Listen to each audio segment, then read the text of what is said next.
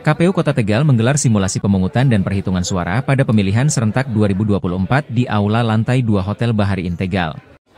Sampel dalam simulasi tersebut adalah TPS 5 Kelurahan Pesurungan Kidul dengan data pemilih tetap sebanyak 582 orang.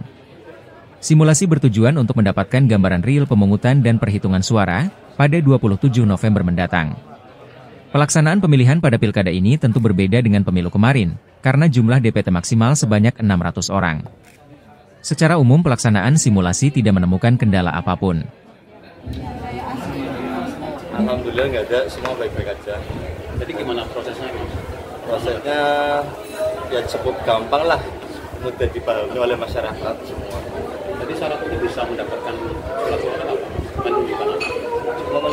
KTP sama surat dari kelurahan. Undangan ya? Undangan ya kami mengambil sampling di TPS 5 TPS 5 untuk Pesurunan Kidul sesuai dengan wilayah tempat pelaksanaan ada 582 DPT karena pelaksanaan untuk TPS Pilkada ini sendirinya jauh berbeda dengan pemilu jumlah DPT terjadi kurang lebih ada maksimal 600 maka tentunya salah satu hal yang harus diantisipasi adalah berkaitan dengan jumlah pemilih yang membludak di waktu-waktu tertentu.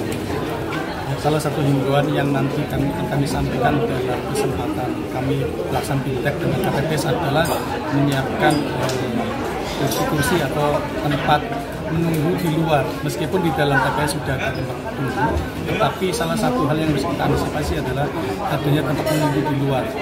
Nah kami tidak mengharapkan atau tidak menginginkan ada uh, warga yang datang bersamaan dalam waktu yang sangat uh, bersama ya, kemudian berdiri di lokasi pendaftaran. Ini yang tentunya akan membuat situasi menjadi tidak kondusif.